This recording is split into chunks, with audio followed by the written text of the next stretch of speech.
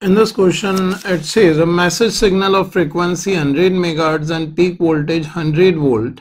is used to execute amplitude modulation on a carrier wave of frequency 300 gigahertz and peak voltage 400 volt.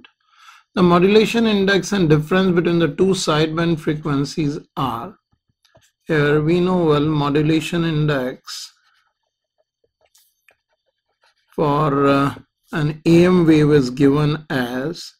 this equals to modulating signal voltage divided by carrier signal voltage the peak value. So here we can write it 100 divided by 400 so it comes out to be 0.25 so we need to choose uh, options from uh, either B or D because C and A are not matching out. And here if we calculate the upper sideband frequency and this given as carrier wave plus modulating frequency and lower sideband frequency is uh, carrier wave frequency minus modulating frequency and if we calculate